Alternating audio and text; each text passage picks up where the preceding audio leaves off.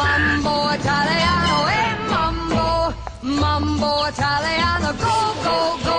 You mixed up Siciliano, all you Calabrese do the mambo like a crazy with a hey mambo. Don't want a tarantella, hey mambo. No more the mozzarella, hey mambo. Mambo Italiano, try an enchilada with the fishy bacala and a mambo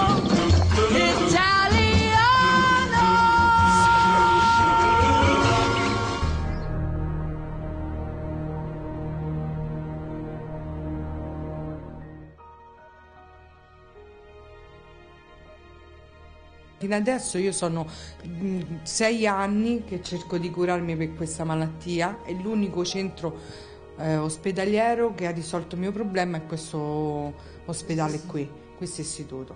Se chiude non so dove andare. Qui siamo di fronte all'IDI e in questo ospedale da quattro mesi medici, tecnici e infermieri non percepiscono lo stipendio. In sei si sono barricati da 20 giorni su quel tetto.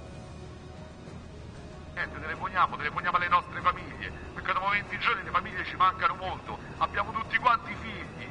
Io ne ho due, uno di tre anni e una bimba di cinque mesi. Mio figlio mi dice perché me ne sono andato di casa. Ma in che mondo viviamo? Io sono stato sempre qui a lavorare e me devo sentire dire da mio figlio di tre anni che me ne sono andato di casa. Ma che mondo è? Ma che stato è? Noi non abbiamo fatto niente, abbiamo sempre lavorato. Qui stiamo morendo di fame, eh? Perché dopo quattro mesi senza stipendio muori di fame. Allora, buongiorno, benvenuti. In che mondo viviamo? chiede quel lavoratore che si è barricato su un tetto lasciando a casa un figlio di tre anni.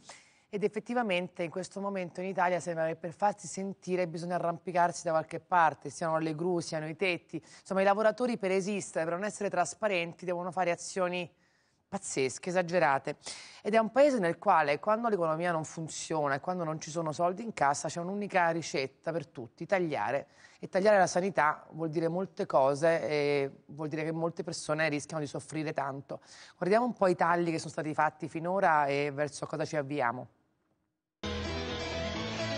Ormai gli italiani hanno capito che Monti è sinonimo di conti, ma per farli quadrare questi conti il Presidente del Consiglio continua a tagliare.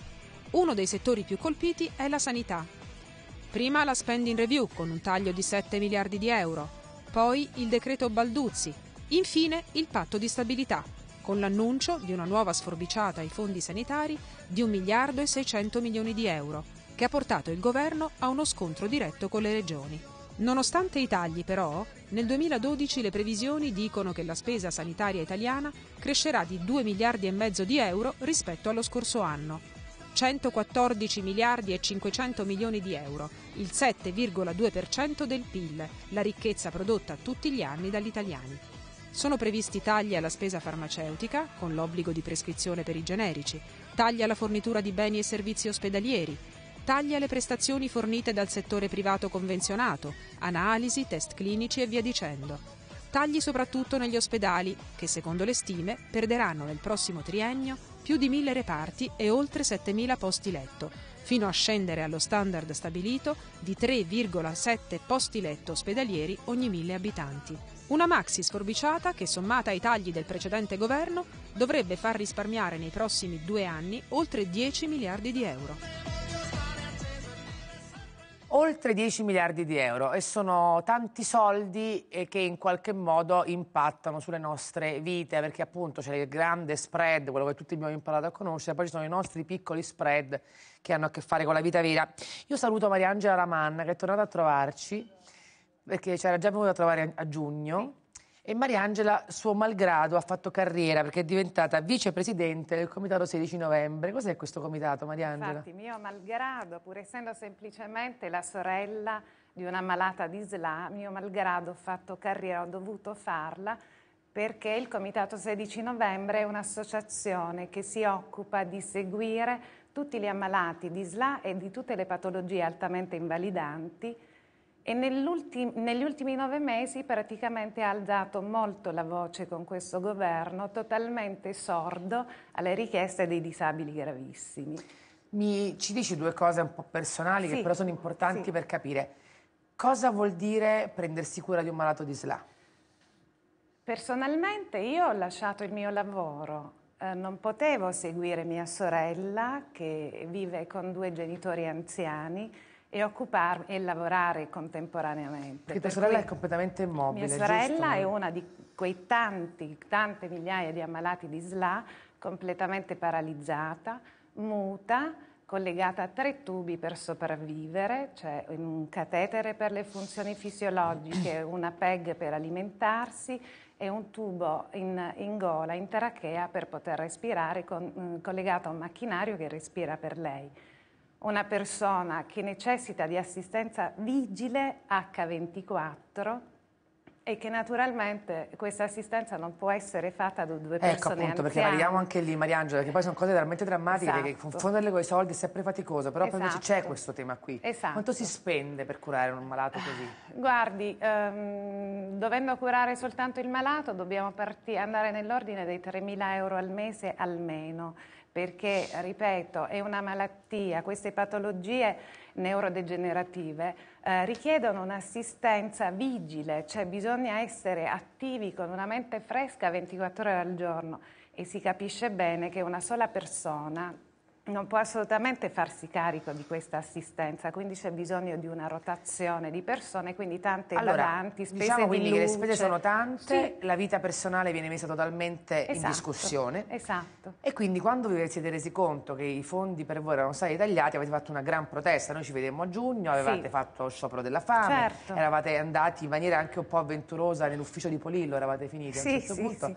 avevate occupato l'ufficio di Polillo avete avuto anche delle garanzie dal governo, no? Tu- tu mi Assolutamente dicesti- sì, noi eravamo ritornati a casa quasi contenti perché con la legge 135 del 6 luglio si era stabilito Che che, la la, spending parte, review, la spending review, sì, ricordasse. la parte prevalente di 658 milioni di euro fosse destinata ai disabili gravissimi. Quindi, Quindi non questo era solo. Sela, erano tutti malati molto molto gravi. Assolutamente, perché noi da quando ci siamo costituiti in Onlus, vale a dire a gennaio di quest'anno, veramente abbiamo voluto dare un aiuto a tutte le patologie gravissime come la nostra che necessitano di assistenza. Per cui questa... Invece che è successo poi? È successo che eh, questa- questi 658 milioni a un certo punto sono spariti, Spariti. sono stati accorpati ad altri soldi per costituire il fondo Catericalà che è stato Ah. aumentato a 900 milioni di euro. Però il fondo questa- Catericalà poi arriva comunque a voi, una buona Ah, no, notizia. attenzione, No. il fondo Catricalà serve, serviva a, eh, a andare incontro ai bisogni eh, di una platea di beneficiari molto più ampia, la scuola, la famiglia, la ricerca, Ah, sì. per cui allargandosi la Diventavano platea... spiccioli a un certo Esatto, punto. Esatto.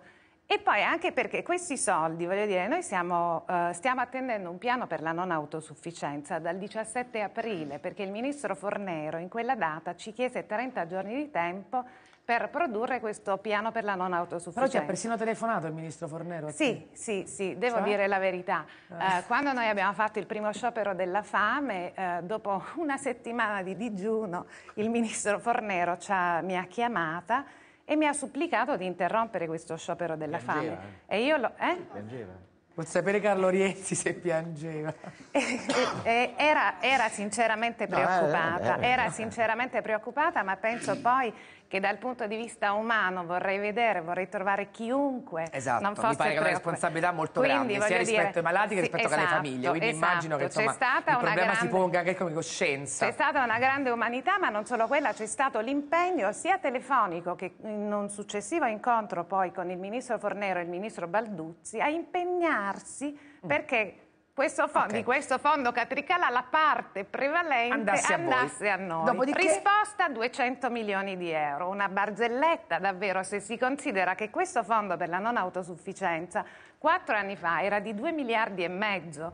Cavarsela. Scusa Mariangela, a me mi dispiace perché siamo diventa, appunto, questa è una tragedia che noi in qualche modo abbiamo, c'è anche Sì. degli aspetti comici appunto Noi come la storia, però eh, è vero che Polillo addirittura vi ha detto trovatevi un, un- un parlamentare che fa un E emendamento se no non- purtroppo, e purtroppo questo sì, io devo dire la verità, anche se c'è stato, dire, se ci hanno ricevuto, alla fine voglio dire che ci ricevano, noi Sì, non è che appunto. facciamo No, no. la collezione delle figurine dei ministri da portare a casa, Scusa, non, non Mirta, ci importa più Noi di tanto. avevamo chiesto ai parlamentari tutti, e, e nessuno ha fatto nulla, qualcuno ha fatto un emendamento, di Eh. trovare i soldi in questo modo. 450 milioni di euro Balduzzi li ha regalati a un ente inutile, l'Onaosi, che assiste gli orfani, 4.000 orfani per 450 mila euro. Penso che li tiene nel- so, in un albergo a 5 stelle. E invece 200 milioni per tutte E le 120 malattie. milioni l'anno solo per favorire una casa farmaceutica che fa i vaccini, per cui noi dobbiamo prenderci il vaccino esavalente, mentre sono quattro gli obbligatori, poi ci facciamo gli altri due e questi due costano 120 milioni che vanno regalati alla casa farmaceutica.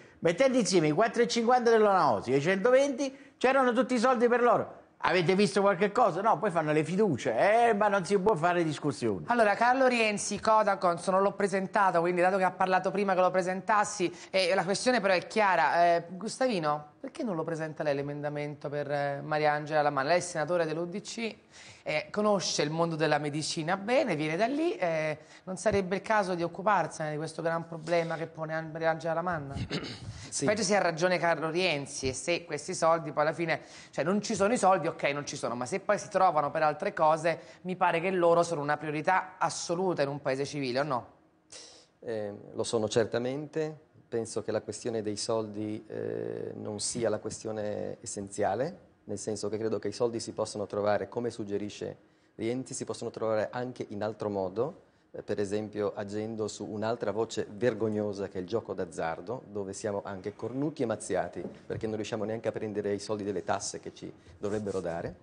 Eh, per cui certamente questo è un tema che eh, va affrontato, lo affrontiamo peraltro, lo annunciamo dentro la legge di stabilità, lei eh, certamente saprà che c'è una... Poi il gioco una- provoca malati, dipendenti, certa- certamente. E infatti bisogna poi E mettere in lea non fa il decreto sulla bisogna prevenzione mettere in lea perché vuole per- tanti più per- malati per da correggere, curare. eh. per correggere certamente quindi diventa curioso quindi eh, questo è mm, Posso- scusi un attimo, Mariangela, subito. mi dici una cosa?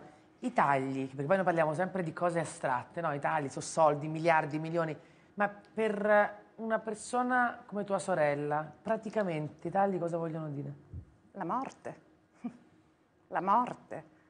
Come si fa ad assistere una persona che diversamente dovrebbe essere eh, una persona da terapia intensiva, quindi con costi di 1000 euro al giorno? Queste sono persone da strutture sociosanitarie, secondo il Servizio Sanitario Nazionale, costano dai 70.000 ai 90.000 euro l'anno e se noi li teniamo in casa, perché a queste persone l'unica cosa che resta è un cervello perfettamente lucido e il calore della famiglia, perché costringerli a una vita diversa e ancora più violenta di quanto sia violenta la malattia? Allora, eh, Mariangela, voglio sentire il parere su questo di Ferruccio Fazio, perché è stato ministro della salute del nostro paese, eh, adesso eh, è tornato a occuparsi di sanità. Eh, a me mi fa venire i brividi quello che dice che Mariangela, che lo dice con grande anche serenità e con, e con un sorriso, però eh, sinceramente l'idea che dei tagli, insomma che l'economia possa impattare così sulla vita di un malato è una cosa che un po' mi mette i brividi. Ma guardi, eh, tre cose. Prima, queste della disabilità è sicuramente una, una priorità in tutti i paesi civili e dovrebbe esserlo anche da noi. Eh, purtroppo con l'economia ci sono dei problemi, eh, forse eh, anche caro Gustavino si ricorderà e anche l'associazione si ricordano che io ho avuto dei grossi scontri col Ministro dell'Economia, tant'è vero che a un certo momento abbiamo fatto, ho- fatto uscire dal Ministero della Salute un decreto Con Tremonti, per, quindi? Sì, per rifare i LEA. Diciamo che non e- era l'unico a avere riscontri Beh, con diciamo Tremonti. che poi e, e allora le, le proteste all'epoca dell'associazione sono trasferite diciamo, al Ministero dell'Economia dal Ministero della Salute perché eh, normalmente si concordano le cose, ma di fronte alle chiusure totali, diciamo, io ho detto qui i LEA vanno rivisti e vanno rivisti soprattutto in direzione degli ausili, eccetera. E questo è diciamo, sicuramente un aspetto. I tagli in genere, son- se sono necessari, si possono fare da tante parti. Adesso nessuno vuole fare eh, diciamo, il professorino e dire dove devono essere fatti i tagli. Certo che la sanità viene in mente che dovrebbe essere una delle ultime. E infine i tagli non devono essere lineari. Il risultato di tutto questo cos'è? Perché siccome qui abbiamo oltretutto i tagli, poi vengono fatti in modo lineare e senza tenere conto di quello che è il sistema.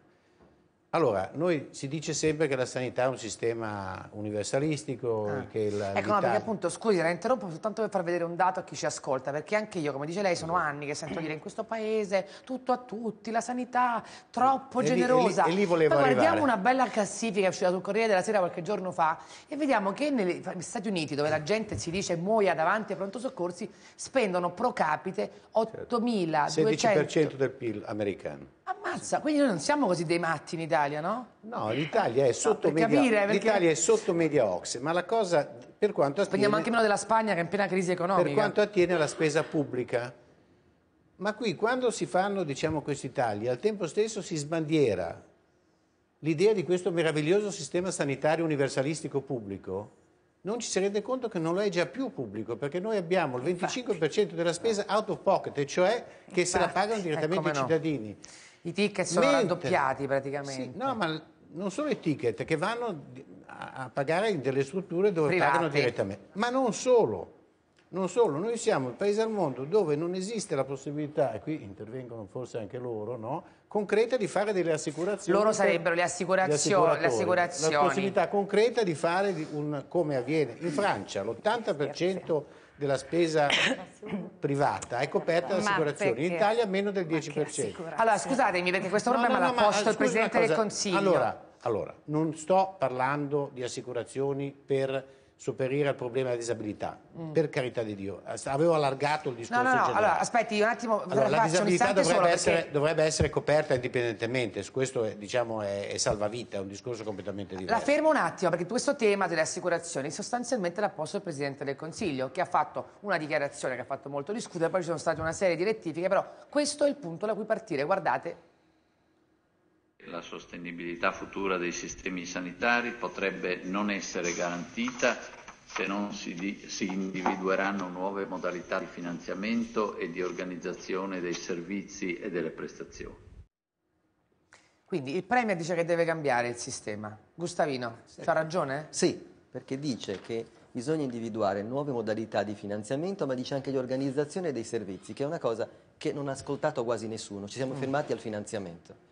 Perché i matti, scusate, sono gli americani che spendono l'ira di Dio e hanno 40 milioni di persone che ve- veramente rischiano di morire davanti ai pronti soccorsi. Allora, bisogna, No, però scusi, riorga- io le bisogna riorganizzare il servizio. ho sempre immaginato che l'America fosse il mondo delle assicurazioni private, dove invece non è così. Ma il servizio pubblico è quello che garantisce il miglior costo-beneficio. Il problema è la riorganizzazione di quello che è un miracolo italiano, perché il nostro servizio sanitario, con quei pochi soldi, riesce a fare ancora cose meravigliose. Il problema è che va riorganizzato presto in termini di eh, spesa, perché le risorse vengono usate male. Ho già provato più volte a Sì, dire però per che la esempio, il caso di disorganizzazione Mariangela, del perché mi colpisce è molto, no? Il gravissima. ca- Mariangela cosa ha detto? Ha detto, se io non mi occupassi di mia sorella, con un grave... eh, co- insomma, lei si è messa in gioco completamente, ha lasciato il lavoro, eh. Costerebbe 1000 euro al giorno in una struttura sanitaria mia sorella. Allora, per esempio, aiutare le famiglie a tenere i malati in casa non sarebbe un pezzo di quella Ma razionalizzazione? del bisogna, bisogna togliere via i centri dei trapianti che non servono e che si- per cui si spendono milioni di euro all'anno in cose che non servono e si danno lì, che servono. Ci vuole il coraggio, il coraggio di una visione d'insieme che è andato perduto nei 21 sistemi Ma il governo tecnico che regionali. non deve dar conto alla politica non può avere un po' di coraggio su questo tema? Ma guardi, posso dire una cosa? Sì. Noi avevamo fatto con il nostro governo una, eh, un- un- una norma per cui trasformavamo tutti i centri trapianti in centri di gravi insufficienze d'organo, proprio per il motivo che diceva Gustavino. Mi ricordo. E poi parleremo anche delle liste attesa. Non c'è stata purtroppo continuità, questo è il problema. Eh, Focarelli, mi faccia sentire un attimo, mh, Carlo, vorrei sentire Dario Focarelli, perché? Perché le assicurazioni un po' fanno paura riguardo alla salute, per carità, in tanti altri casi siamo abituatissimi, però sulla salute le dico qual è il pensiero un po' che circola, che alla fine questo sistema sarà fatto per i ricchi e i sani che possono pagare, non hanno grandi Bravo. problemi, e i poveri e i malati saranno fregati, e questo è un po' detto in soldoni, direttore generale dell'ANIA, ci spiega perché non dobbiamo aver paura delle assicurazioni? Allora, il, il tema è stato già detto, c'è un problema di sostenibilità dei costi della sanità, non perché l'Italia spende di più, l'abbiamo visto, 2.900 sono dollari, non euro, ma insomma più o meno si assomigliano, di cui gli italiani, Anzi, già, già- già- di cui gli italiani già pagano 611 di tasca propria, perché questo è un pezzetto di quel numero, di quel- 611. 611 li pagano gli italiani di tasca propria. Come li pagano? Pagando le prestazioni essenzialmente. In altri paesi, dove la proporzione può non essere tanto diversa, quei 611 sono organizzati in forma di assicurazione piuttosto che ognuno davanti al problema e paga la prestazione che gli serve in quel momento. Questo è il primo punto sostanziale. E perché gli italiani diciamo, tendono a, a non pagarlo? Perché tendono a sperare, e questo purtroppo è il caso, o avere la convinzione, e questo purtroppo è eh, frutto anche come dire, delle, degli aspetti di informazione, eccetera, che la prestazione è comunque garantita. La verità è che il nostro sistema è formalmente universalista, ma poi quando ti trovi davanti a dover chiedere la prestazione c'è la fila d'attesa nei casi meno gravi o addirittura il razionamento. Parlate voi che se uno ha una malattia, avuto una malattia, non l'assicurate proprio. Io mi sono fatto un intervento per avere, fa- per avere un'assicurazione. Ho dovuto penare perché dice, ma eh, sei malato, ma loro che si assicurano? Solo chi è sano. Cioè è chiaro che Esistono chi si due- ammala che si deve assicurare. Caro Poi avvocato, quando eh, arrivi a una certa età, disdicete le polizze. Esistono non due fate tipi- le polizze. Cioè, se no, sei di- vecchio e malato fuori, tutta la vita, due a una di certa polizze, età, che adesso siamo tutti invecchiati e invecchieremo sempre di più. Parla per te, Ti Rienzi. tolgono le polizze. Siamo, no, io no, vabbè, no, per te, Caro- chiaramente. caro avvocato, Ti esistono- disdicono le polizze a una certa età perché Esistono- cominci a essere troppo malato. Sì, cioè, le sono- assicurazioni fanno solo i loro affari. No- no- non vi permettete di dire che di- ci dobbiamo assicurare infatti, o garantite che esatto. voi assicurate chiunque, anche chi ha qualche malattia, perché sennò è inutile, Infatti. che assicurazione sia? Allora, se posso, se posso senza... Vedo che il pubblico è molto d'accordo, quindi proviamo a ragionare. Gli anziani poi, Allora, provate ad assicurare un anziano. esi- Mi assicura esist- mio nonno. esistono- Mio nonno non ce l'ho più purtroppo, ma insomma. Allora, esistono due tipi di assicurazioni, quelli che si fanno e si rinnovano anno per anno e quelli che sono fatti a vita intera. Se lei, A vita intera? A vita intera Ho chiesto di farla io che non sono uno Ma- proprio decrepito, no, non me l'hanno voluta fare. no, non Eh, si sono. Guarda, a vita intera sono Eh, poche Eh, allora, scusate, fanno. sentiamo le un fanno attimo solo alle donne sia che non hanno mai avuto niente. che Elisabetta che i medici vole- volevano dire qualcosa. Prego.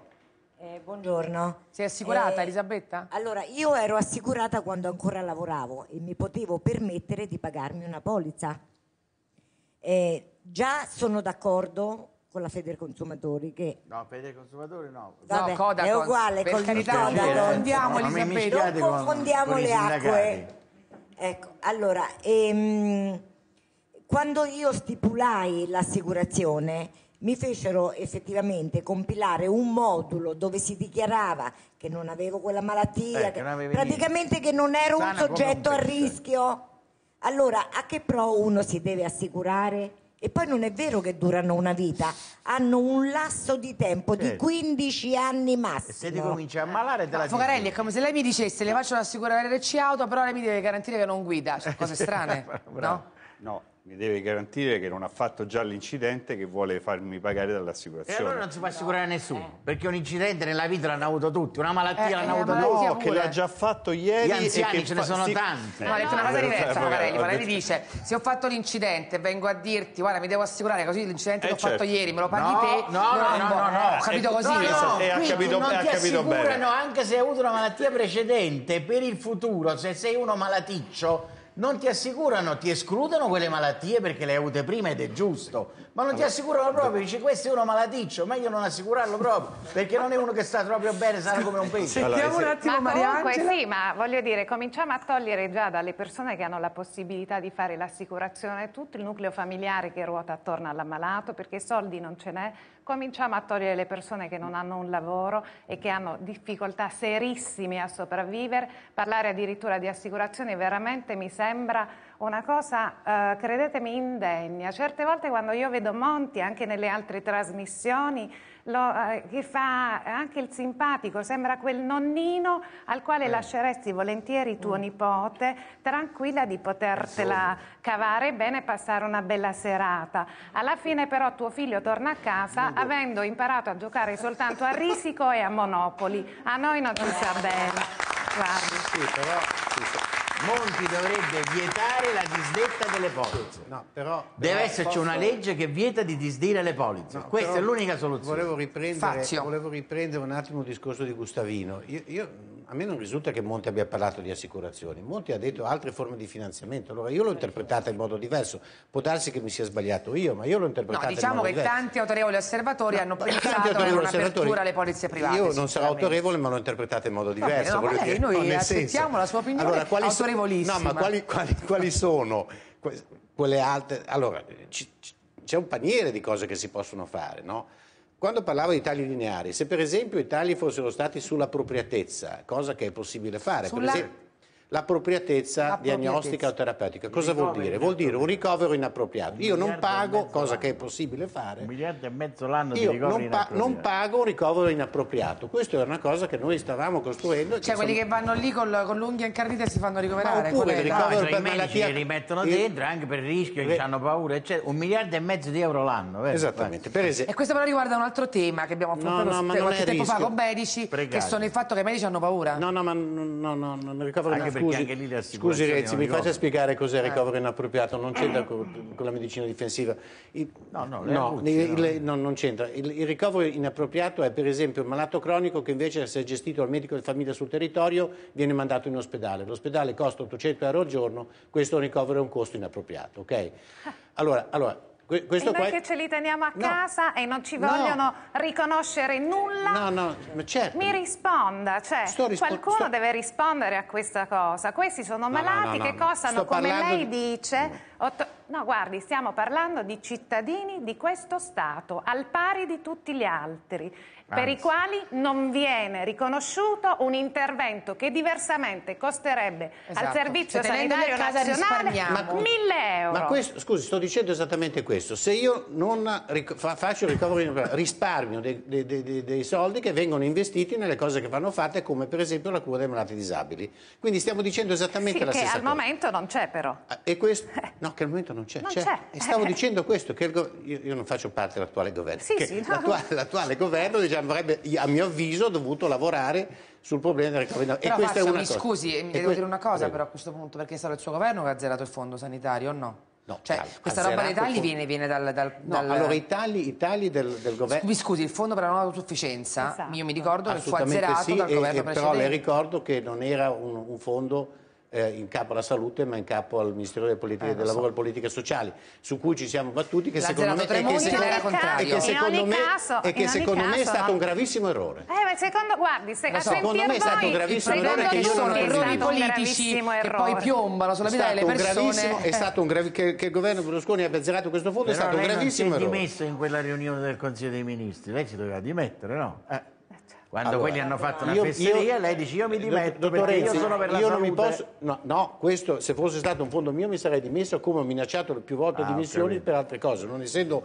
un fondo di diretta competenza non ci stava la nessuno si dimissione dimette in questo paese. no no lasci perdere che nessuno si dimette qualcuno si dimette Come si anche chiama? ecco però Eh, allora, Focarelli, dato che gli hanno fatto parecchie accuse, penso che lei debba replicare. No, io non voglio replicare. Cioè, nessuna fiducia in queste assicurazioni, mi pare a occhio. Cercando qui di convincere che l'assicurazione sia una soluzione al problema. Io sto soltanto cercando di dire in maniera molto semplice, e credo che un po' questa discussione vada esattamente nella direzione, che un problema di sostenibilità finanziaria del nostro sistema, nonostante non sia il sistema più caro del mondo, c'è.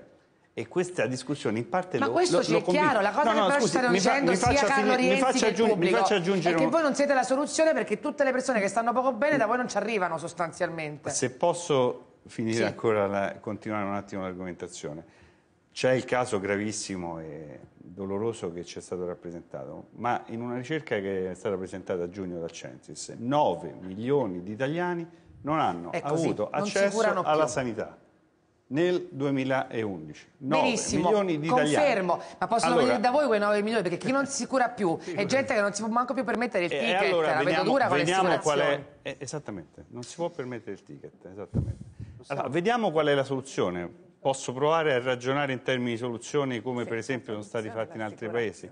Ne faccio una in maniera molto semplice. In Francia il ticket è proporzionale alle prestazioni e tutti i francesi sia se hanno diciamo, una visita diagnostica, sia Cioè, se più hanno ti uno- curi e più paghi o il contrario? No, no, no, no. No, per capire. Proporzionale alla prestazione vuol dire che il 10% sia della visita sia dell'operazione a Mm. cuore aperto viene pagata direttamente dal cittadino. In Francia, non in America, in, in Francia. Intramoenia pure in Italia. In- Anzi, pure eh, di se più. posso Invece finire. in Italia il In cittadino Francia paga il anche. 90%, il 90% dei francesi, con esclusione di quelli sotto una certa soglia di reddito, i malati cronici e i disabili, si fanno l'assicurazione per coprire il ticket. Ah, in cioè, maniera molto, se- guardi, molto semplice. Vorreste guardi quel dato. alimentari che non pagano Quanti si rivolgono al privato? Nel 2005 erano 5,6, nel 2012 sono Eh, 18%, quindi anche in Italia le cose stanno cambiando, la gente eh, ha cosa, capito. cosa intende per privato lì? Eh, quante assicurazioni private? No, no, no, strutture private, non si rivolgono alla sanità pubblica. Ma il, il mio punto in questo momento, guardi, non è sanità pubblica verso sanità privata, ospedale pubblico, ospedale privato. Qui stiamo parlando del finanziamento. Diciamo che ci sono pochi soldi. ok? No, ma io le volevo soltanto Allora, sottolineare un punto, che già spendono un sacco di soldi gli italiani, cioè la verità è che gli italiani in questi ultimi anni hanno cominciato a spendere un sacco di soldi per la sanità e quelli che non ce li hanno questi soldi qui, come lei giustamente ha detto, sono fuori dal sistema, che è una roba che non ci saremmo mai aspettati in un paese in cui il servizio sanitario era considerato come era più bello del mondo, si diceva, no? Sì. No, è, è ancora nelle classifiche internazionali il terzo. per altri Era il Scusatemi, primo. mi dicono che c'è al telefono il lavoratore dell'IDI che abbiamo visto nel servizio, Massimiliano Rizzuto. Massimiliano? Buongiorno, buongiorno a tutti. Buongiorno, benvenuto, siete ancora sul tetto? Siamo ancora sul tetto. Oggi spengiamo la candelina, sono tre settimane, più otto giorni di sciopero della fame. Allora, guarda Massimiliano, vediamoci un attimo il servizio su di voi che ha fatto il nostro inviato e poi rimani con noi che ci spieghi come stanno andando le cose in queste ultime ore. Ma quale fraticelli? Ma quale religiosi? Siete solo democratici! Sono quattro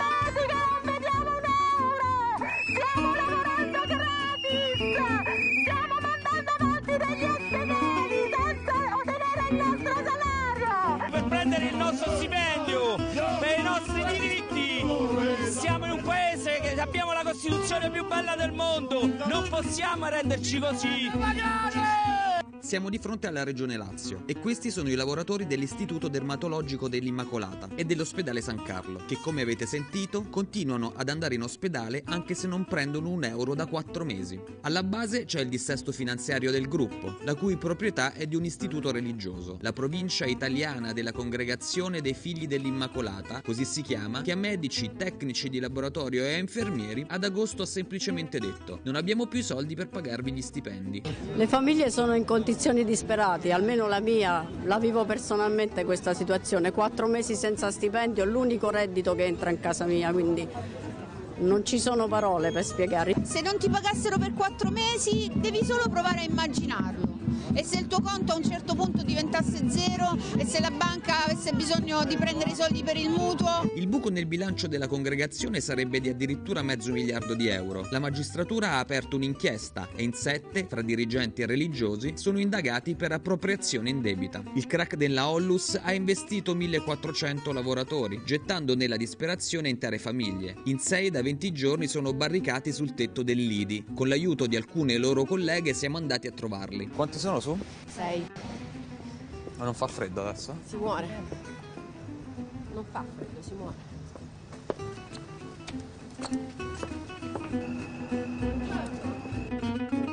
Allo Stato della Regione chiediamo che intervenga. Se questi non sono in grado oppure sono dei furfanti, devono essere mandati via. L'ospedale deve essere messo in mano a gente capace, quelli che ci lavorano sono persone capaci, che erogano un servizio d'eccellenza ai cittadini. Ci sono malattie che possono essere curate solo in questo ospedale, da nessun'altra parte d'Italia.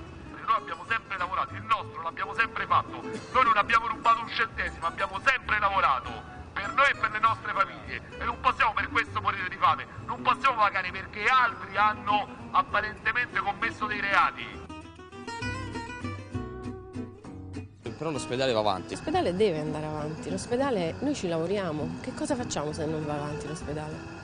Cioè, io sono 33 anni che lavoro qui, non è mica un giorno, ma chi mi prende a me? Lei altrettanto, ma chi ci prende a noi?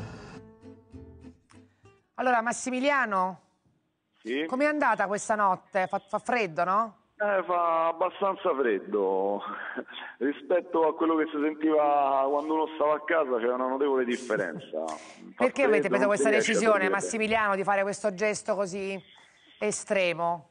Guardi, dopo quattro mesi che non ti pagano lo stipendio, lavora anche mia moglie all'interno dell'ospedale, ho due figli, non so come campare. Sembra che se non fai così in Italia non si riesce ad avere un minimo di visibilità e nessuno cerca di risolvere la tua situazione. Cioè, mi sembra sempre che i politici, stavo sentendo prima eh, l'onorevole Ferruccio Fazio, hanno tutti la soluzione, ma poi quando hanno la possibilità di risolvere non fanno niente, hanno sempre la possibilità successivamente, cioè hanno sempre un modo per risolvere le cose, ma quando spetta a loro risolverle non lo sanno come si fa. Guardi, I DRG sono fermi da vent'anni, capito? Voi applicate delle regole che sono ferme da un ventennio, cioè voi applicate i DRG di vent'anni fa perché non siete mai riusciti a mettervi seduti e riaggiornarli. Sull'appropriatezza che fate? Voi permettete agli ospedali di fare anche i ricoveri inappropriati, poi non gli date i soldi, quindi li mandate in deficit, capito? Perché non vigilate Senti, Massimiliano- pazienti, me li vigilate in uscita. Massimiliano, ti faccio rispondere da Ferruccio Fazio. Ora prima devo chiederti una domanda, perché nel servizio si diceva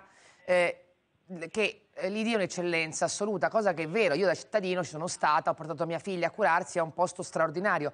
Però ci sta pure della gente che ha fatto delle cose sbagliate. Allora di chi è la colpa? È del sistema o è di chi ha sbagliato dentro l'IDI? La, la colpa, la colpa è di entrambi, è del sistema e di chi ha gestito l'IDI, perché chi ha gestito l'IDI gestisce soldi pubblici, perché ricordo che l'IDI riceve dalla regione un qualcosa come 100 milioni di euro di soldi pubblici, quindi quando qualcuno gestisce i soldi della collettività, perché sono i miei, i suoi, i soldi di tutti, lo Stato o la regione deve vigilare su quello che, che la congregazione faceva con questi soldi, perché noi non abbiamo manco rubato un centesimo. Ma cosa faceva la congregazione con questi Regione soldi? Sta sotto di 10 miliardi di euro sulla sanità, ma non controlla nessuno, ma dove sono finiti questi soldi? Massimiliano, cosa facevano dentro l'IDI con questi soldi secondo te? Allora, secondo l'inchiesta della magistratura e c'è anche un'inchiesta dell'antimafia, i soldi venivano distratti e venivano utilizzati per fare altre cose. Qui sembra che ci siano investimenti in Congo, investimenti sul Mar Morto, ma non se ne è accorto nessuno. C'è la regione che fa, prende, ti regala 100 milioni di euro l'anno e non si rende conto di quello che ci si fanno con questi soldi. Ma voi non stavate a dormire. Allora, Se fallisce una compagnia di assicurazione, subito la deve prendere un'altra e tutto torna a posto. Se fallisce un ospedale, perché hanno rubato, in questo caso probabilmente, nessuno può intervenire perché è fallito, via al diavolo i malati, i medici e tutti quanti. allora fatemi sentire Ferruccio Faccia, perché dato che questo caso dell'IDI a me ricorda tanto il caso del San Raffaele, cioè parliamo di luoghi di eccellenza sanitaria dove succedono cose che non devono capitare perché i soldi non vanno investiti né in Congo né nel Mar Morto o negli vari investimenti nelle- strani del San Raffaele, ma vanno investiti sui malati.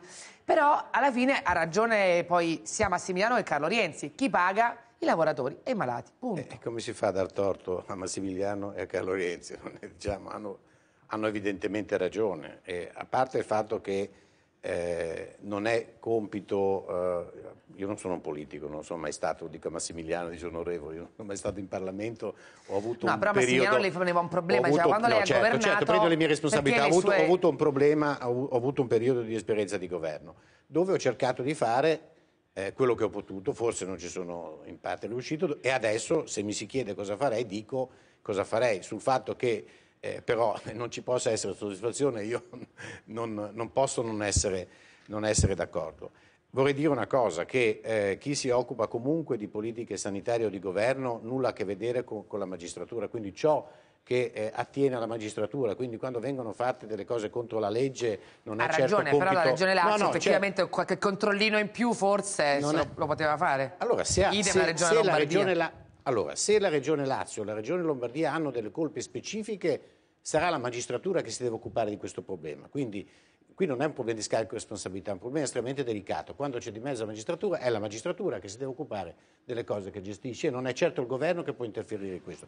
Ciò detto, ciò detto eh, eh, c'è una grossissima differenza tra l'IDI e, la- e- e- San Raffaele. Cioè, mentre San Raffaele di base, a prescindere da quello che è successo, calo di presenze per vari motivi, ha una struttura sana e aveva una struttura sufficientemente sana da un punto di vista gestionale, l'IDI non aveva, c'era una stru- una struttura sana dal punto di vista gestionale. Mi Quindi sentire un attimo- Avrebbe bisogno di una revisione proprio della struttura gestionale. Francesco Medici volevo se- Al le do subito la parola, faccia che- sentire, dato che lui, lei- lui fa, fa il medico a Roma, rappresenta il Conosco sindacato peraltro dei medici, di quei- conosce l'IDI, tra l'altro non abbiamo citato il Gemelli che è un altro grande ospedale pieno di eccellenza in grande difficoltà dove delle parti hanno già chiuso, dove oggi ci sono sul giornale addirittura voci di privatizzazione, insomma Che cosa sta capitando in questi ospedali in cui tutto il problema si sposta sui soldi e sulle inchieste giudiziarie?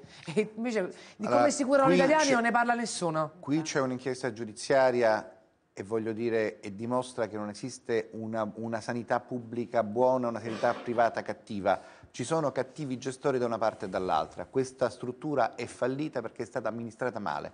E allora non facciamo come la Fiat, che nel momento in cui ci sono gli utili, gli utili sono della Fiat, quando ci sono le perdite sono Mm. della collettività. Questa è di una congregazione, la paghi la congregazione, la paghi la Santa Chiesa, che normalmente si è presa i soldi, perché quando prende i soldi va bene, quando li devi ridare non va bene. Quindi questo è un problema che va, va affrontato, perché quei colleghi sono bravissimi. Io vado all'IDI. Anch'io. Io mando all'IDI perché quando ho un problema dermatologico e voglio che il mio paziente Sono lo risolva immediatamente, gli faccio immediatamente l'impegnativa, lo mando la mattina dopo all'IDI e quella ha la prestazione immediata. È una struttura fondamentale, bella. Chiuso questo, non dimentichiamoci delle gemelli, ma non dimentichiamoci anche del Filippo Ne- San Filippo Neri che vogliono chiudere, vogliono chiudere una delle strutture più belle, più Filippo Neri, forti. scusa, fanno, eh, a cardiochirurgia hanno fatto fino all'anno scorso 300 operazioni all'anno, quando l'Europa ne impone almeno Hai 600. ragione, hai ragione. Al Policlinico ci sono decine di reparti comprimariati che prendono soldi ma a miniere e non operano nessuno. Ma questi non possono continuare a stare in piedi. Assolutamente- Questo è il discorso, non è che devi difendere vero. per forza il San Filippo Neri o l'oftalmico. Ne No. hanno parlato di chiudere tante volte, ogni volta non riescono a chiuderli e la gente e lì continuano a guadagnare, incassare senza Allora, fare nulla. Stai però mettendo due cose insieme che non vanno insieme. siccome tu poi parli di allora, San Filippo Neri, parlando di San. Filippo Neri perché è un'altra delle strutture eh, pubbliche di eccellenza che si intende chiudere. Quello che stai dicendo è una cosa diversa ed è una responsabilità della politica e della cattiva politica e voglio ricordare che siamo nella regione Lazio in cui siamo stati amministrati da eh, uno che aveva il gioco compulsivo come patologia e a un altro che quando nevica si compra del gioco. Eh, allora, detto questo, la cattiva politica ha fatto sì che sono successe le cose che dici tu. Non è possibile che ci siano tutte queste cardiochirurgie, non è possibile che ci siano tanti cento, abbiamo 400 trapianti a Roma, ne basterebbe Ve- uno per tutte. 20 Lazio. Allora, vascolari un nel. Lazio. 20 Scusatemi. unità vascolari che non operano nessuno. Vi faccio continuare, però prima voglio farvi vedere una cosa abbastanza incredibile che abbiamo scoperto a Deboli, è andato Fabrizio Bancale per noi. C'è un ospedale eh, che incredibilmente sta in piedi pur non avendo i permessi per stare in piedi. Lo Stato lo usa sapendo che è un ospedale irregolare. Però prima di andare al servizio, Massimiliano, mh, sei ancora con noi? Massimiliano Rizzuti? Sì, sì, sì, ci sono, ci sono. Posso farti una domanda? Ho letto stamattina sui giornali che Alemanno eh, dice che i soldi arrivano, che Bondi dice i soldi si sbloccano, basta che ci sia un piano industriale. Avete fiducia? Pensate che siamo arrivati a una soluzione? Rimarrete sul tetto? Quali sono le prossime mosse che farete? Allora, fiducia ce l'abbiamo, posso dire, per forza. Il discorso è che Bondi dice che sblocca, a patto che i giudici gli dicono che va bene, che dicono che va bene, a patto che il prefetto gli dica ok, che dice ok, a patto che il mago Perlino gli dice che va bene. Cioè qui si stanno a passare un cerino e questo è io. il problema. Si passano un cerino e nessuno è in grado di dire ok, mi prendo la responsabilità perché non è di nessuno. Ma una volta che non stanno più al comando diranno qual è la soluzione. E questo è il sistema politico italiano. È un sistema che alimenta solo se stesso, ma da noi gliene frega niente, perché dopo quattro mesi che non prendo lo stipendio io e mia moglie, loro di che cosa si sono preoccupati? Stanno ancora a passarsi il socerino e io morirò, morirò di fame. Che faccio? Aspetto l'indagine della magistratura, ma nel frattempo io devo campare. Cioè il governo è vero che non deve intervenire con la magistratura, ma un decreto, qualcosa di salvezza temporanea la deve dare, perché io non posso morirmi di fame. È chiarissimo, Massimiliano, io ti ringrazio, in bocca al lupo. Ringrazio a voi, Crepi. decreti ingiuntivi contro la congregazione e vi fate pagare gli stipendi dalla congregazione. Cominciate a dargli Ce lo, ce lo racconta fra un attimo, Massimiliano in bocca al lupo, torniamo a occuparci di voi presto, speriamo che le cose vadano in qualche modo a posto. Eh, veniamo a parlare adesso invece di questa clinica abusiva finanziata dallo Stato, guardate un po'.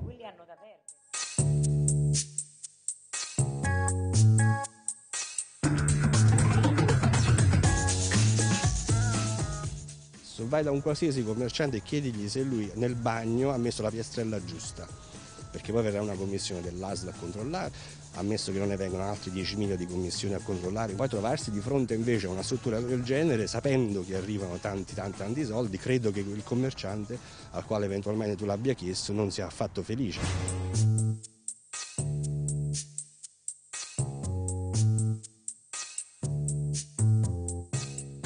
Siamo a Eboli, in provincia di Salerno. Questa alle mie spalle è il centro medico ISES, che da decenni si occupa di riabilitazione, logoterapia, fisioterapia e assistenza ai disabili in generale.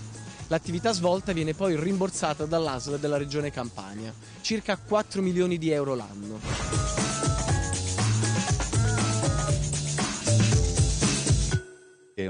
Un'attività questa molto importante sotto il profilo economico, occupa 140 famiglie, quindi eh, per una città come Eboli è eh, eh, sentita. Il punto è che la struttura sembra essere priva della certificazione di agibilità. Con la truppa abbiamo provato a entrare all'interno del centro per chiedere spiegazioni, ma l'accoglienza che abbiamo ricevuto non è stata delle più calorose. Ha detto di venire, mi ha dato appuntamento. Ve l'ho detto delicatamente nessuna cosa, mi dispiace. Il punto è questo, bisognerebbe andare all'ASL, al- dal direttore generale dell'ASL e chiedergli scusi direttore, come mai una struttura che non ha i requisiti di legge incassa determinate grosse quantità di denaro? Noi ce l'abbiamo messa tutta per contattare gli organi competenti, ma nessuno ha voluto ascoltarci. Qualsiasi altro esercizio commerciale con un capello fuori posto viene immediatamente chiuso. Lì eh, la situazione è complessa.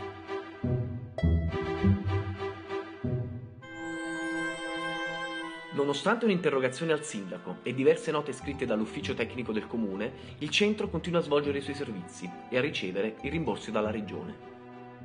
Il sindaco attuale è stato eh, membro del consiglio di amministrazione di, questo- di questa cooperativa per tantissimi anni, eh, è stato e mi risulta anche diciamo, fino a pochissimo tempo fa eh, avvocato difensore del centro in alcuni procedimenti anche molto, molto delicati e poi da sindaco si è ritrovato a dover eh, valutare in parte anche l'operato della, della sua attività di tanti anni.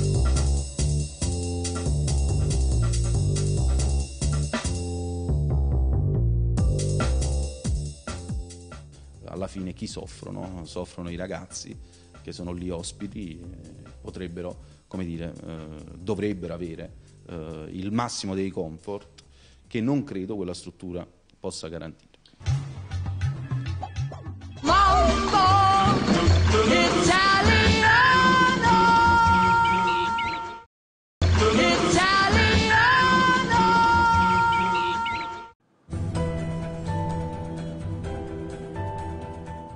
Gioiello della sanità lombarda abita a Bergamo. 1200 posti letto, 36 sale operatorie, neanche un'ora di distanza da Milano.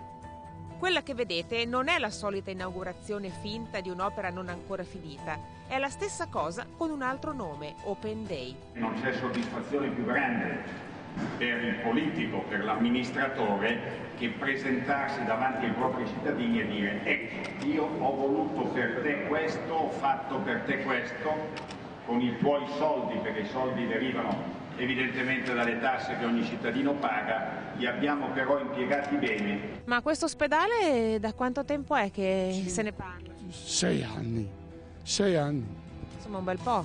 troppo, un po' troppo. Ritardi di oltre tre anni e costi lievitati da 270 a 500 milioni di euro. La Regione promette che l'ospedale aprirà entro la fine dell'anno in una corsa contro il tempo che non rassicura. Formigoni ci ha messo la faccia dicendo che l'ospedale andava aperto entro la fine dell'anno. E, mh, quando, si, quando si fa il trasloco di un ospedale non è come quando si apre un hotel eh, o quando si apre una qualsiasi altra struttura. Non ci interessa affatto che venga rispettato quello che ha detto Formigoni, ci interessa che tutta questa operazione sia svolta nella sicurezza maggiore possibile. Ma questo sarebbe solo l'ultimo di una catena di problemi. Secondo me ne- non è stato costruito dove dovevano costruire. fatti molti lavori di bonifica all'inizio, ma purtroppo penso che il problema non è risolto. Perché qui comunque è sempre stata zona paludosa. L'avvocato Roberto Trussardi era stato uno dei pochi ad opporsi in consiglio comunale. Terreno paludoso è un progetto che all'inizio non prevedeva i lavori di trincea drenante. I progettisti inizialmente non la ritennero indispensabile e quindi non venne effettuata, salvo accorgersi 4-5 anni dopo, 5 anni dopo che invece era necessaria. E quindi una trincea che poi viene fatta a distanza di 4 anni o di 5 anni dall'inizio dei lavori senza neppure una gara d'appalto. Appalti poco chiari e una causa da 150 milioni di euro tra l'azienda ospedaliera e le ditte costruttrici. Capofila dell'appalto la DEC di Bari, oggi in amministrazione controllata e incapace di saldare il conto alle imprese di Bergamo che hanno lavorato in subappalto. Noi chiediamo di essere pagati perché è un nostro diritto. Ci saranno degli artigiani che ce la faranno a sopportare la situazione, altri che magari saranno obbligati, come quei 19 che hanno chiuso, quelle aziendine che hanno chiuso, saranno obbligati a chiudere. Ho fatto la copertura, praticamente i tetti, tre anni di lavoro per un importo di circa 3 milioni di euro. Che oggi dove sono? Ve li hanno dati? Manca qualcosa all'appello. La risposta ad oggi è che non ci sono. L'Associazione dei liberi imprenditori di Bergamo ha dato vita ad una class action contro il nuovo ospedale. Responsabile dicono di non avere vigilato sui pagamenti. Chiediamo giustizia perché la sostanza è giustizia nei rapporti con la piccola e media impresa. Se è il caso di andare in piazza, si andrà in piazza. Pensiamo di arrivare al Pirellone con tanti furgoni. Con i conti che non tornano, l'ospedale infinito è in ostaggio dei costruttori e dei loro certificati di collaudo.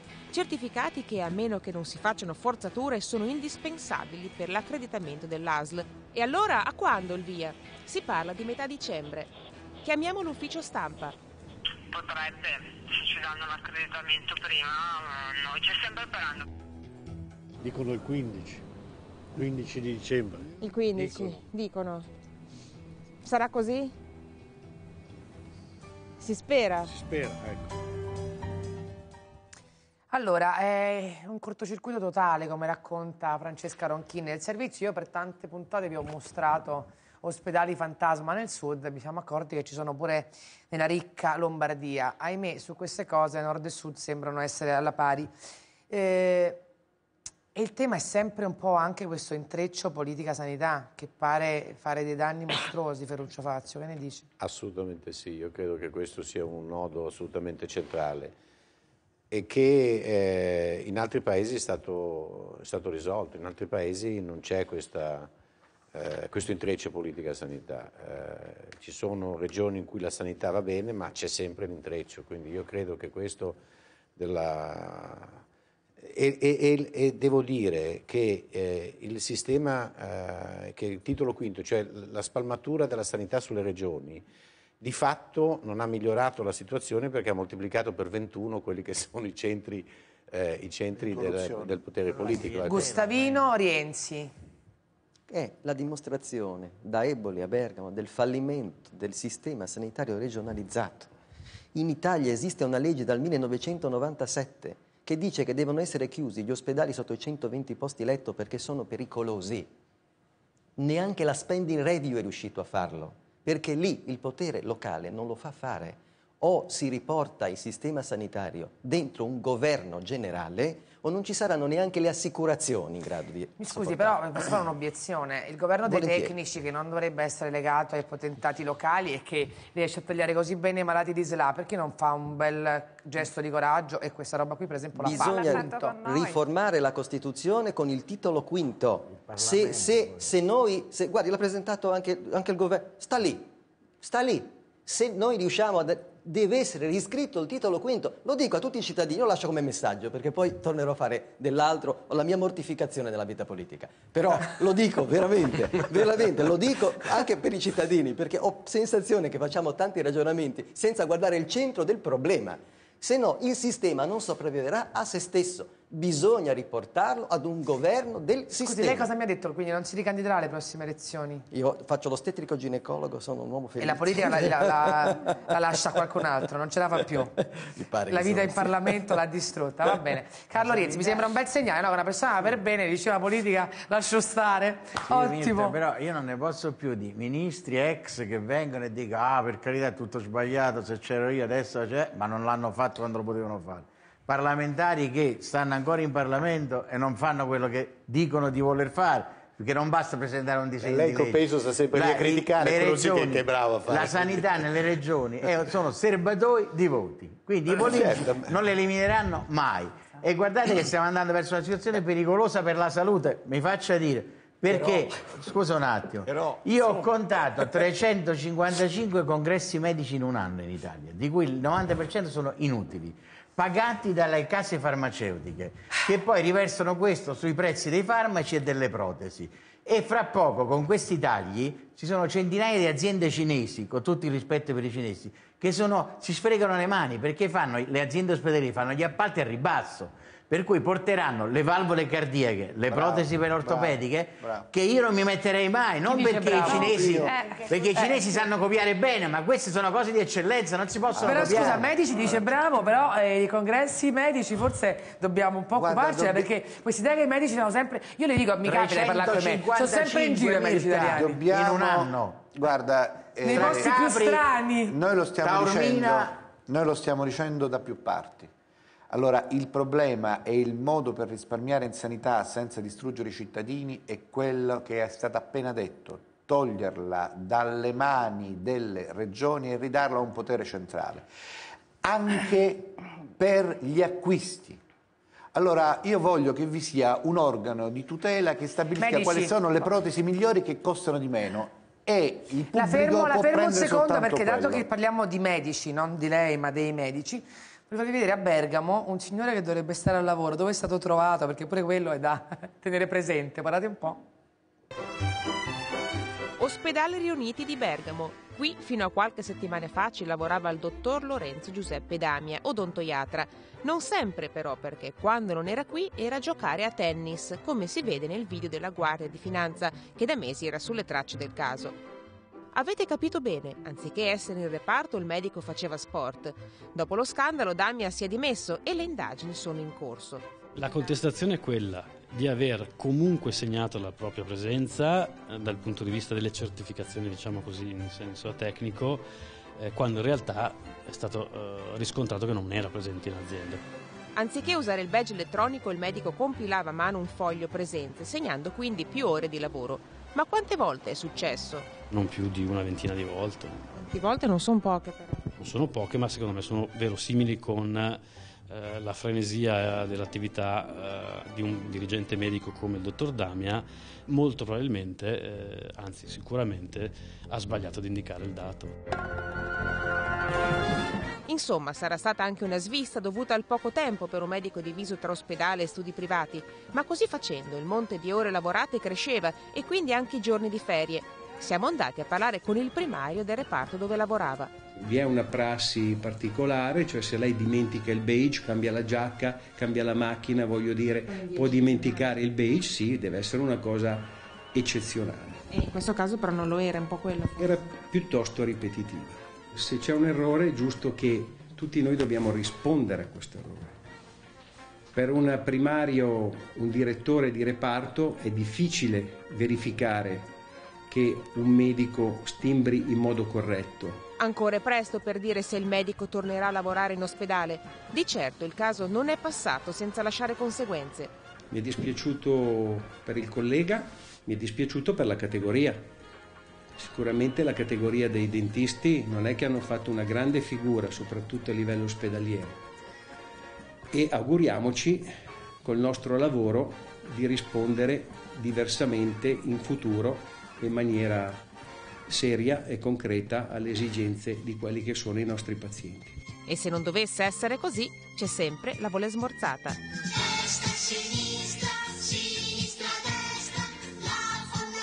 Ma, eh, caro medici, sai cosa mi colpisce a me di questo servizio? A parte la cosa insieme, insomma, eh, le reazioni, non più di una ventina di volte, una svista, no, quella- piuttosto. quella è la cioè, la giusti- il quella giustificazionismo. Cioè, dell'avvocato. possiamo dire che è vergognoso che No, uno deve no, stare è in di ospedale e fa giocare a tennis. No, forse Guarda, mica è una cosa brutta dirlo. Io lo sai cosa farei? Io non solo ho il badge elettronico e a me in 15 anni è successo due volte dimenticarla a dire, casa.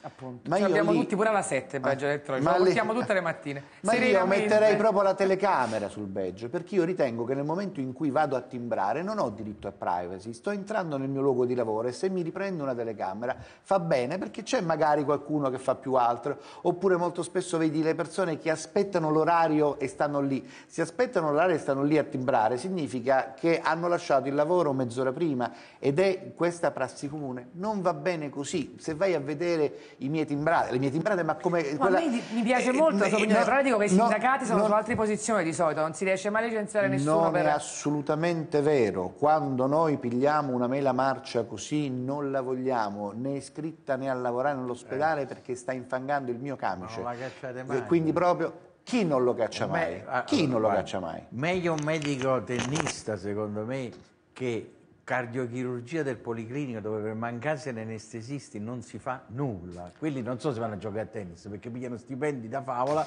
ma non hanno Dovrebbero niente da fare. Quello è ancora più grave quello, Que- no? no, allora è- intervenite anche su questo, forza, Fazio perché propone la maggior Rienzi- parte dei medici sono persone oneste, sono persone Fazio brave. propone Rienzi, ministro della sanità del prossimo governo. Eh, Fazio, la propongo lei ti propone ministro della sanità, del prossimo a me non mi piglierebbero mai come ministro, caro Fazio. Allora, se c'è una cardiochirurgia che non funziona, permettimi, è di chi ha messo una cardiochirurgia a non funzionare e normalmente c'è No, perché una... mancano gli anestesisti. E c'è...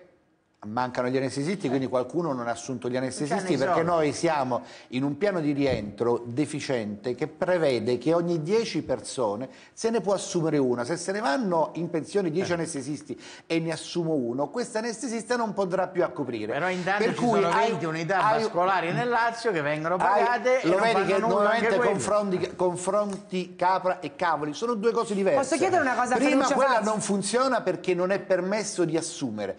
Quell'altro è un Allora, problema sono della politica Vi faccio che avrebbe dovuto non aprire Fazio. 20 cardiochirurgia. Eh, volevo Sì, toccare il tema spreco. intramenia, perché poi tutto ciò, appunto, tra partite di tennis, eh, se uno vuole fare una visita in intramenia fa una fatica enorme a trovare posto. Perché Una non- visita? in intramenia? Ma la- è ancora peggio che, che, eh, la- la- le liste dell'intramenia di attesa siano più brevi delle liste di attesa non intramenia. Questa è ancora una cosa peggiore. Certo, questo è ancora peggio. l'intramenia va in qualche modo regolamentata, adesso in parte lo è stato, non sulle liste di attesa, ma in parte... Sì, se però la una- visita normale aspetto sei mesi, poi quella intramenia aspetto tre, cioè diventa una specie di gincana contro il tempo, quella da riuscire a farsi la visita medica nel nostro una paese. mammografia ci vogliono 8 mesi, Ma allora, morire. se vogliamo parlare delle liste di attesa? sì. Allora, lista di attesa... Perché no? No, perché ehm, mi risultava che era uno degli argomenti diciamo, che volevate toccare. Allora, c'è stato tra l'altro un articolo, come lei saprà, diciamo, Mi è recentemente... venuto in mente guardando il signore che giocava a tennis la lista d'attesa, devo dirle la verità. Eh, esatto. Ho fatto un'associazione È chiaro di che lui allunga la lista d'attesa, Eh, evidentemente, certo. no? questo è chiaro come il sole. Ma allora, quando il nostro governo eh, c'era il problema delle liste d'attesa, allora abbiamo fatto un piano nazionale delle liste d'attesa che abbiamo licenziato nel 2010. Ancora nel 2011, eh, un paio di mesi prima diciamo, che, che terminasse il governo, abbiamo fatto un- tutta una serie di adempimenti che- del monitoraggio. Questo piano prevedeva la ridentificazione di tutte le prestazioni con le relative, massi- con le relative massime eh, tempistiche di attesa, l'identificazione di percorsi per le patologie del cuore oncologico identificate come patologie complesse, eh, un finanziamento addirittura nell'ambito dei fondi vincolati perché le regioni potessero fare questo piano di attesa, che le regioni che non lo facevano comunque dovessero avere dei tempi fissi che erano quelli che noi avevamo stabiliti. E, e poi un monitoraggio sistematico. Ecco, purtroppo la cosa poi si è fermata. Nel senso Perché la non questione non c'è oggi stata- qual è? allora, È che se io faccio una visita, adesso- una visita Renzi normale adesso- in ospedale, adesso- aspetto sei mesi. Se la Sì, in Renzi adesso dirà, aspetto tre, diciamo, perché non hai finisce, fatto vado le privato e pago di però- tasca mia poi. Sì, ma oltre a fare le cose ci vorrebbe anche, mi, mi- mi permetto di dire, una certa continuità tra un governo e l'altro, perché se poi le cose no, vengono fatte... Cioè ci dovevamo tenere il governo Berlusconi un altro No, 5-6 anni. no, no, no, per carità di Dio, non sto, non Ah, no, dicendo questo. la sto- continuità. non sto- continuità dal punto di vista delle attività, cioè voglio dire, bisognerebbe che, no? Allora io faccio- vorrei raccontare un episodio. Quando, quando eh, è finito la, la mia esperienza di governo mi ha telefonato eh, l'ex ministro Turco, che era il ministro del governo Prodi. Livia Turco, sì. Livia Turco precedente, precedente al, al nostro e con cui avevo nel frattempo mantenuto, come tu sai, Gustavino, buonissimi rapporti e mi ha fatto una telefonata che mi ha fatto moltissimo piacere perché mi ha ringraziato per la collaborazione che c'era stata eh, tra il ministro in carica che ero io e l'ex ministro in carica. Ecco, Io credo che... Invece io- con Balduzzi non vi sentite mai? L'ho visto due volte, comunque per carità lui poi fa quello che crede, ma, ma io credo che una certa continuità potrebbe... Cosa pensa del ministro Balduzzi? Come No, ma si è trovato anche lui in una situazione molto difficile senza oltretutto essere un tecnico, diciamo, da un punto di vista della sanità. Sì, adesso sta aumentando pure i limiti dell'inquinamento elettromagnetico. Perché siccome le compagnie dire, telefoniche sono conto- potenti, conto- noi invece di berci elettromagnetismo al massimo 6 è- volte è, ne sicuramente una persona 12. per bene, sicuramente una persona per bene che, che- che sta facendo sicuramente il Qualche possibile. lobby quindi- lo, lo fa- Mm, se lo si fa non lo- sentire. Non lo so, non lo so io. Questo non- Focarelli voleva aggiungere qualcosa? Qualcosa sulle liste d'attesa, non Mm. perché le assicurazioni possono far nulla sulle liste d'attesa, Ah, ma perché perché, come e che cittadino e come economista qualcosa, c'ha che ha studiato tanti anni queste si cose. In Unione Sovietica i prezzi dei beni erano bassi, ma i, i prezzi dei beni erano bassi, ma i negozi erano vuoti, oppure si doveva aspettare mesi e mesi per poter comprare una cosa. Le liste d'attesa sono in qualche modo la misura di quanta domanda di sanità c'è che non è evasa dall'attuale sistema e in qualche misura è la misura di quanto, diceva il Presidente Monti all'inizio, c'è una domanda in attesa e un problema di finanziarla. Se voi vedete, non vedete le liste d'attesa nel loro macro eh, fenomeno, non riuscite a vederlo, non è, eh, è questo il punto che Medici, ha capito cosa di- sta dicendo Focarelli? Che alla fine il servizio pubblico più di tanto non riesce a fare, ben vengano i privati se la richiesta è tanta. Allora, e- il servizio pubblico non riesce a fare più di tanto perché lo stanno massacrando e farà ancora di meno, perché ti ho fatto dell'esempio adesso delle persone che non vengono assunte, ma ti posso fare l'esempio di quei dei tagli ai posti letto che faranno. Sempre più persone cercheranno di accedere al sistema e lo troveranno. Ma le chiuso. assicurazioni sono una soluzione secondo te? No, ti spiego perché peggioreranno il problema. Le assicurazioni lo peggioreranno? Le assicurazioni lo peggioreranno perché adesso c'è il sistema pubblico e anche l'attività intramenia che calmiera il prezzo, lo tiene basso. E allora anche il privato per poter fare eh, business mantiene il prezzo basso. Cosa succede? Nel momento in cui io aumento molto i ticket oppure faccio sì che l'attività intramenia, come stanno facendo, perché noi abbiamo messo il ticket sull'attività intramenia, il prezzo diventa sempre più alto, porterò gente ad andare fuori. Non solo, ma nel momento in cui non do più la prestazione pubblica, loro saranno costretti ad andare fuori. A quel Perché c'è i punto- soldi? Saranno costrette comunque perché se tu hai tuo padre che sta male, se tu hai Ti tuo padre che ha un cancro, ti indebiti, vendi la macchina, vendi la cosa, ma lo, eh, mm, lo salvi, non, eh, ti trovi davanti a un muro, lo salvi, fai qualunque cosa sulla sanità, ti indebiti. A quel punto creerai un mercato vero dell'attività privata. Appena tu crei quel mercato e non c'è dall'altra parte uno che costa di meno, quel mercato tenderà ad alzare i prezzi, perché così è così che è Oddio, successo è in una prospettiva America. da incubo, però io ti e devo andare in Però- pubblicità. però posso- No, Appena aumentano i prezzi, le assicurazioni aumenteranno e saranno insostenibili. Così è successo in America. Perfetto, era Dai, meglio morire da piccoli che vedere, diceva un tempo un signore, che vedere sto schifo da grandi. Eh, pubblicità, ci vediamo fra pochi minuti.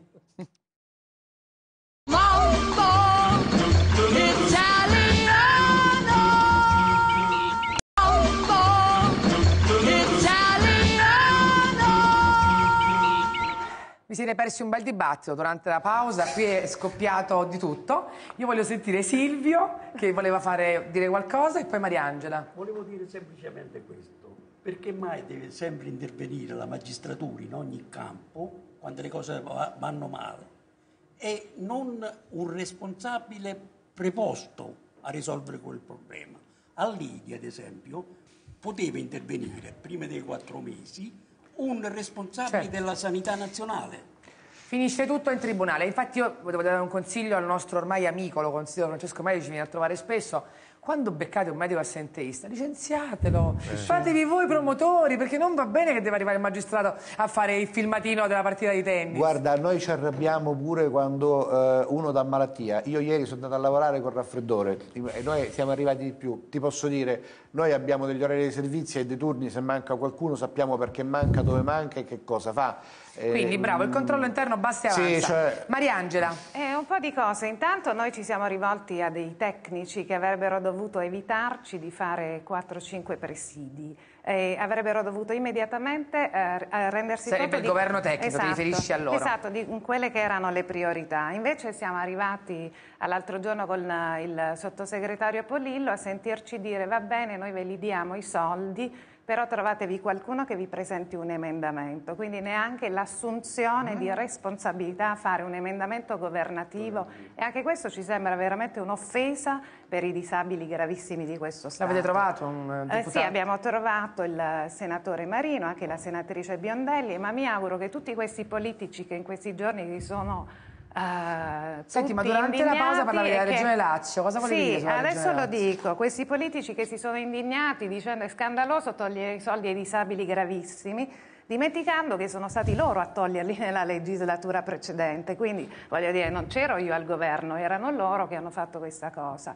Poi siamo assolutamente d'accordo, noi abbiamo chiesto da sempre un provvedimento blindato perché queste regioni eh, non, ci, non, ci, convincono, sicuramente ci sono delle, eh, gest eh, delle, gestioni ottimali, ma ci sono delle gestioni molto scure. E fra queste la Regione Lazio, voglio dire, siamo qui in Regione Lazio, io mh, ti dico che abbiamo portato un fondo per la SLA eh, solo ed esclusivamente per il sostegno degli ammalati al domicilio.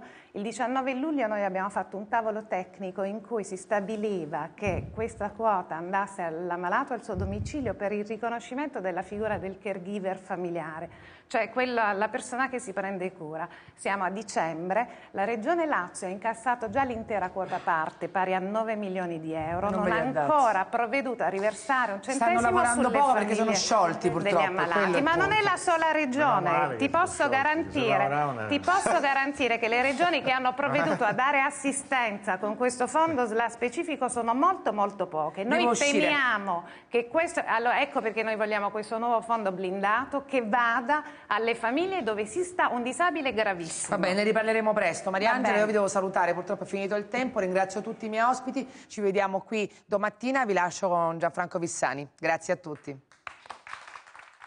Ma